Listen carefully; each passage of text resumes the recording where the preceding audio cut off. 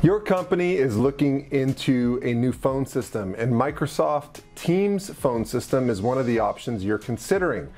But you're wanting to know how do we back it up? What is the redundancy of Microsoft Teams phone system? What do we do if Teams goes down? Maybe Teams has gone down for you in the past, or maybe you've just heard Teams goes down once in a while and you're wondering, what do we do if Teams goes down? Do we lose our whole phone system? Well, there's a few different options for you and I wanted to cover one of them in today's video. But before I get started, just a quick mention, quick reminder, if you want some advice on which vendors your company should quote for Microsoft Teams phone system calling plans, don't Google it, just reach out and contact me. More information on that at the end of the video, but just wanted to mention it really quickly. Okay, so what do you do with Microsoft Teams phone system if Microsoft Teams phone system goes down, if the Teams app goes down, and how do you fail it over? Well, one of the options you can do is use a direct routing as a service provider that actually integrates with Microsoft Teams through their own cloud PBX application.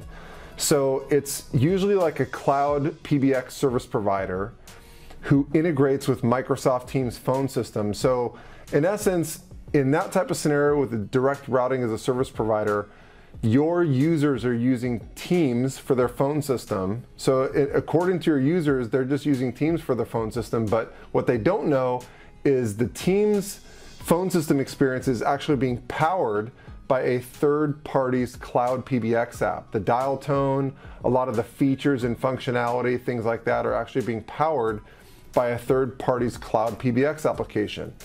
And how that relates to failover is because if Teams ever goes down, all of your desktop phones in this scenario are actually registered back to that third party's cloud PBX app. They're not registered to Teams. So your phones will actually stay up and running even if the Teams app has an outage. So all the desk phones will still ring. Also in that scenario, all the users have the secondary option of logging into that third party's Cloud PBX app's soft phone.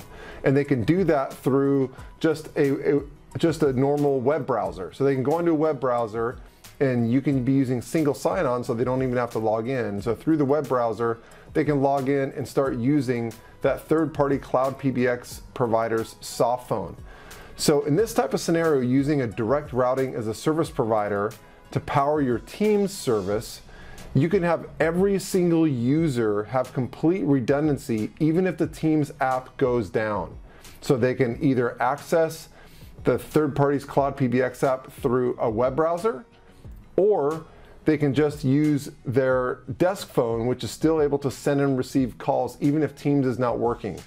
And those two things are not available with any other um, way to set up teams. In any other setup for teams, like any of the other options like Operator Connect or some of the other ways to set up teams, does not have that as an option. You have to use different methods for failover. And to watch those methods, watch some of my other videos that I'm gonna make on those. But first I wanted to cover that. That's first and foremost, the easiest and best way to, to fail over if you have Microsoft Teams phone system.